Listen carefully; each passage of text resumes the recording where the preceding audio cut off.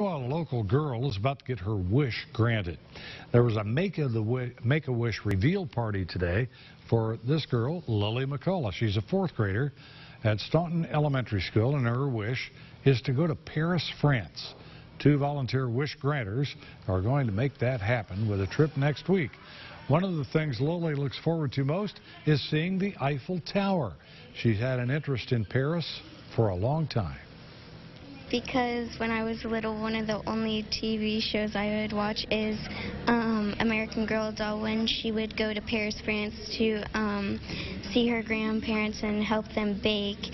And um, that's why I wanted to go to Paris and try macaron and stuff. Make-A-Wish officials say there are about 250 kids in the three-state area waiting to get their wishes granted.